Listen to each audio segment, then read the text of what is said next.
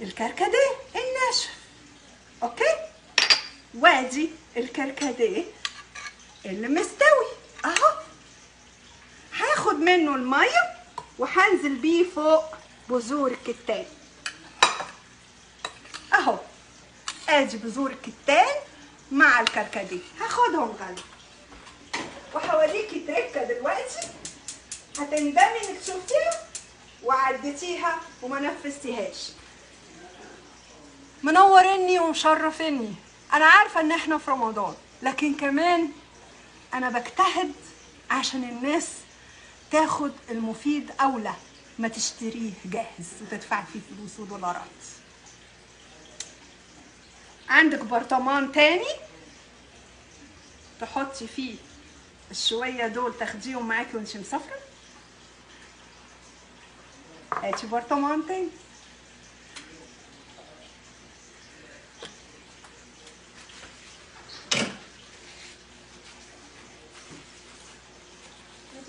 حد عايز يشوف بذور الشيا لأن جابوها لونها اصفر بذور- no no I'm sorry آه زبدة الشيا للي بيسألون أهي زبدة الشيا اللي أنا بستعملها. ممكن تلاقيها بيضة أو صفرة آه شيا باتر that's the one I'm using. And ممكن تجيبيها من عند العطار من عند ماضي. ممكن تجيبيها من أي عطار تثقي فيه. لكن أنا شفت عند ماضي زبدة الشيا حلوة والناس كلها بتشتريها في اسكندرية في المنشية في زنقة الستات آه كنت نزلتها لكم كتير قوي ووريتها لكم. وآدي برطمان حبيبتي عايدة اللي هتاخده معاها عشان تعالج بيه بشرتها وهي نايمة. وهنا بنغلي بذور الكتان حاليا مع الكركديه. بذور الكتان المغلية مع الكركديه بتعمل سحر للنهار. أنا هديكي كركديه مع بذور الكتان في سحر لليل. النهاردة هديكي السحر المسائي. أنتجت ثلاث كريمات لليل. واحد لونه برتقاني والتاني لونه بني عسلي فاتح والتالت لونه أحمر. تلاتة. يس عشان ما اديش مساحة لأي جهلة تلعب في وش الناس. شايفين؟ بذور الكتان الحمرة دي؟ هتتصفى يس هصفيها وآخد منها كمية. ليه؟ عشان هتنفعني في حاجة تانية. Here we go. هنجيب المصفاية بتاعتي العادية. وصفي شوية. أمام الكاميرا وهي سخنة هنزل ببذور الكتان واخد منها الحمار الجميل بتاع الكركديه. للي ما شافوش وما يعرفوش هقولك فاتك كتير. اكتب لهم اسم الكركديه بالانجلش الزهرة يعني. الكركديه من الحاجات المفيدة جدا للتجاعيد. الكركديه بناخد منه الفايدة كلها اللي أمام الكاميرا ده هي. اهي أمامكم خلاص. اهي أمامكم خلاص. وهحتاج منكم بس معلقة من النشا على الخلطة دي please يا دكتورة عايدة هي وصفة الثلاثية الأزاز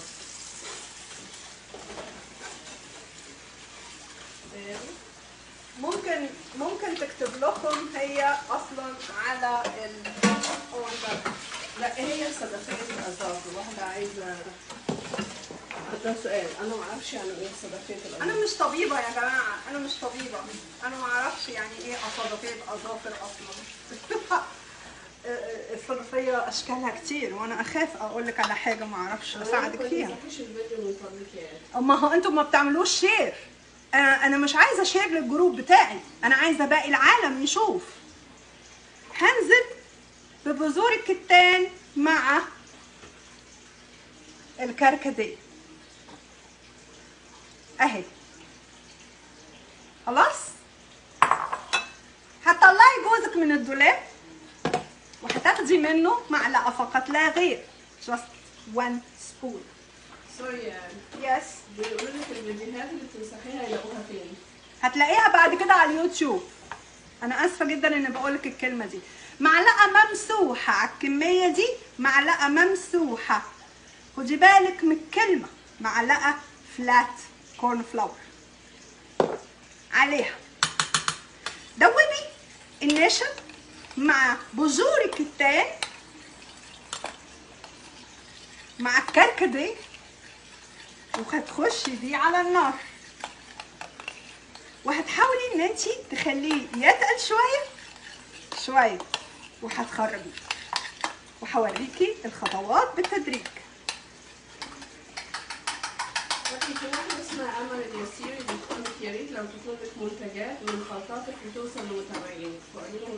الويب. إن شاء الله لما المنتجات ربنا يكملها على خير وتخرج للنور أنتوا أول ناس هتعرفوا قبل أي حد غريب. إنما أنا لسه بخلص في الأوراق في أمريكا أنا مش قاعدة صايف يا جماعة أنا قاعدة بخلص في أوراق. so so, لما أوراقي تخلص إن شاء الله بدعواتكم بإذن الله. وأخلص الحاجات المفروض مطلوبة مني لأن ده كريم عالمي مش كريم مضروب. ده كريم عالمي. يعني هيبقى عليه علامة الجودة. yes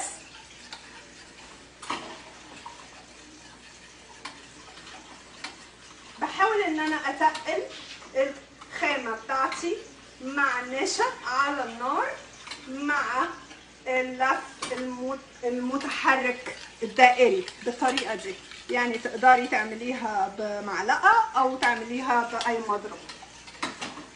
عشان تتأكدي إن النشا بتاعك مش مكلكع ولا في أي حاجة تضايقك في الخلطة بتاعتك. كركديه مع بذور الكتان بوتوكس أصلي هيديكي نتيجة رهيبة فعالة. تقدري تقسمي الكمية وتاخدي منها للنهار وتخلي منها شوية نعملها لليل يا أختي ريا محمد عايزة حاجة لمزيل العرق يكون دايم أنا عاملة المخمرية ومزيل العرق على اليوتيوب. يا ريت حد يحط ال link يا جماعة للناس عشان الناس اللي ما تعرفش اليوتيوب يمكن يكونوا جداد. ميبي ما يعرفوش.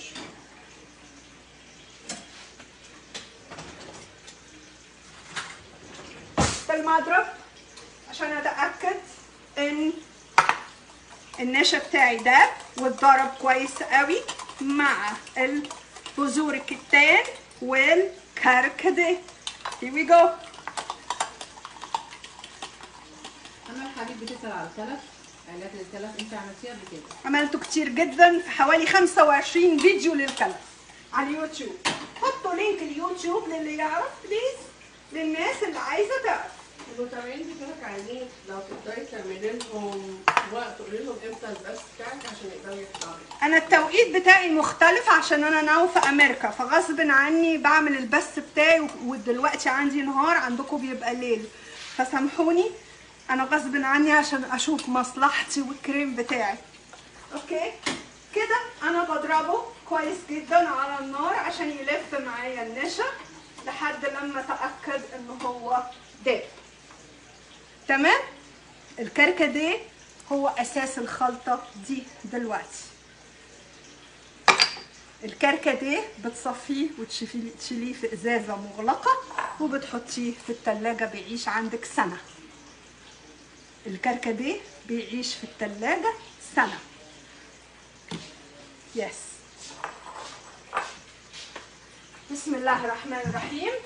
ابتدى يلف. وابتدى يتقل واللون يتغير وهوريكي حالا التخانة اللي المفروض يوصل لها واللون بتاعه بعد لما بيتقل وبيتخن. بذور الكتان المغلية ومتصفية والكركديه. بتأكد إنه النشا بتاعي دايب تماما مش عايزاه يكون تخين جدا. ملعقة ممسوحة. من النشا ما تروحيش تزودي هيبقى مهلبية زينب حسن بتقول لك آه إيه أبي ممكن أعرف مدة صلاحية كريم اللبان الضغط كريم اللبان الذكر الصلاحية بتاعته لمدة شهر لشهر ونص لأنه في مواد حافظة من الصبار واللبان الذكر وبذور الكتان بتعيش وبتحفظ في التلاجة. اللون ابتدى يتغير أمامكم. أهو. هطلعه تاني على النار سنة كمان عشان آخد التخانة المظبوطة بتاعته. وهبتدي أعمل خطواتي اللي جاية. ألا وهي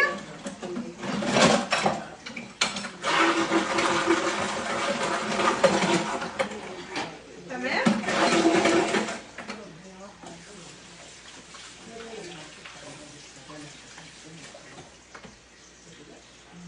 أوكي here we go. أنا جاهزة انام علشان خلصت أموري على النار.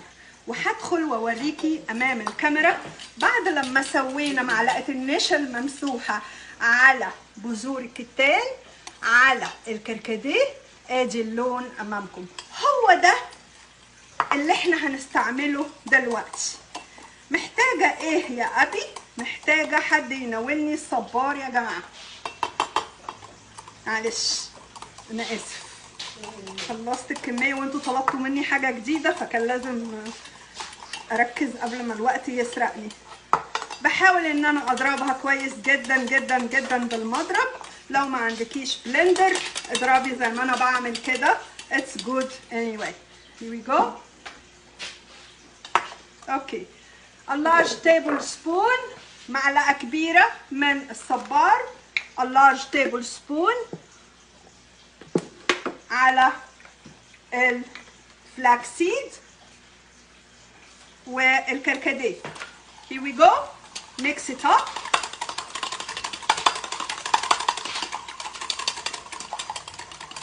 عايزين برطمان جديد نوريكم يا جماعة حاجة مهمة قوي. ممكن؟ برطمان علبة؟ أي برطمان أو علبة أو أي حاجة. أوكي أم سلمى بتقول البنزين حرق وشها. نعم؟ البنزين حرق وشها فعايزه حاجة يا ساتر يا رب. جميل don't know واحدة اسمها أم سلمى. اللهم احفظنا.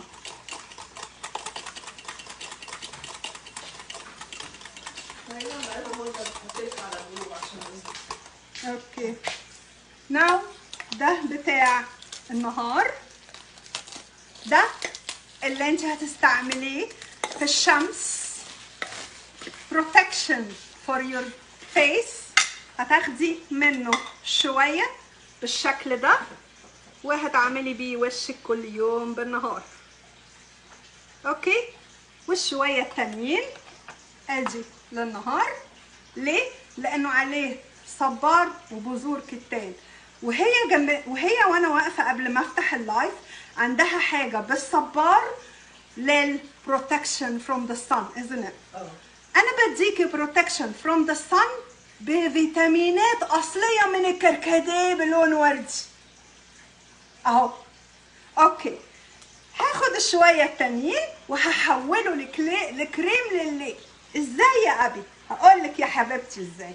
هنزل عليه بملعقة من الجريسلين يس وأنا هعمل نهار يبقى ليل لازم شمس وقمر. يا قمر أنتوا يا قمر. معلقة الجريسلين على معلقة من جوز الهند زيت وقلبي. على نقطتين ماء ورد. عشان الريحة الحلوة المريحة بالليل. ماء ورد أو ماء زهر up to you. وقلبي مع فيتامين اي كبسولتين على الكمية دي. وقلبي و that's night facial ليه اسمه night facial علشان هو بيزيل. الجلد الميت لما بتحكيه. أمونة أنا هسألك مش هتطلعي في في الصورة بس قولي لي لما انت حطيتي الكريم في الأول عمل لك إيه؟ طلع جلد أسود من على إيدي. فرق جلد ميت من على إيديها. وبعد شوية قالت لي إيدي دي غير إيدي دي. شجعتيني أفتح وأعمل live جديد دلوقتي. أنا كده بضربهم كويس جدا جدا جدا مع بعضياتهم ابي الكريم اللي بتعمليه ده بيتحط على الوش قد إيه؟ مش أنت قلتي ده for day time واللي أنا بعمله لل night آه واحد ينام بيه واحد الصبح yes آه، yes ده رودي رودي. السؤال one for day night one one for night one for day. Anti wrinkles treatment homemade facial وبيعالج المسام الواسعة؟ Yes. حكمة. السلام يس لأنه فيه flaxseed وفيه بذور كتان وفيه الصبار. تيتي عبد الله جاية لك في شهر سبعة في لندن. أهلا وسهلا بيكم في لندن حبيبتي. وحشتوني. وآدي النايت فيشل for your night treatment. You can have it every single night. The large one for night. A small one for day. Here we go. Day and night from one ingredients or two ingredients واحد لليل واحد للنهار. وعد مني ونفذته. واحد للنهار واحد لليل وعد مني ونفذته. خدي صورة يا أمي. خدي صورة. يمكن ربنا يفتحها عليكي. عند تقومي من على الكنباية وتنفذي حاجة واحدة من الحاجات دي. كريمات أصلية مش ملعوب فيها. بديها لكم على طبق قبل ما تشتروها بفلوس. لو ما خدتيش بالك من التكات والحركات اللي بقولها هتندمي. اولا وأخيرا احدث تقنيه للكريم للوش. ال face facial day cream for your own nice look. Glorious one. brown natural ingredients امام الكاميرا اهو امامكم ثابت البطل orange vitamin C شفناه على ال shelf وأنا معاكم في السوبر ماركت وكبرت لكم الكاميرا عليه عشان أقول لك من بين الكلام في كلام. عاملين حاليا في أمريكا vitamin C eye treatment العب يلا. وتعالى هنا عند المهزلة. وادي ال vitamin C أمامكم. وادي الكركديه مع ال vitamin C أمامكم. تقدري تختاري اللي يناسبك. ألف شكر. تصبحون على ألف خير. وأتمنى الناس اللي بتحب أبي تلحق وتنفذ اللعبة الجديدة الحلوة المتقنة الهايلة دي. اللي فعلا بجد بصوا بصوا جمالها شايفين؟ بصوا جمالها. انت ممكن تردي على سؤالين يس هدى الغول بتقول لك تجاعيد الأيدي.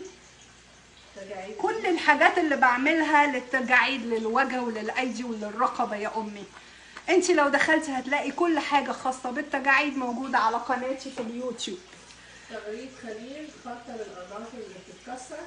الأظافر اللي بتتكسر قلتها قبل كده. اعملي فرشة سنان نظيفة مختلفة وحطي معجون الأسنان على الفرشة بنقطتين ليمون واعملي مساج بالفرشة كل يوم. وانتي بتدعكي اسنانك ادعكي ضوافرك ده كالسيوم وده كالسيوم. واشوفكم في فيديو تاني جديد إن شاء الله في يوم تاني. وسامحوني معلش فعلا بجد النهارده كنت very active